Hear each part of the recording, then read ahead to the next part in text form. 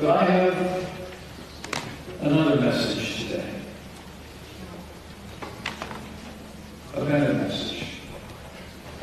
From the people of America to the proud and great people of Iran. We are your friends. And the day is coming when you will be free from the evil regime that suffocates your dreams and buries your hopes.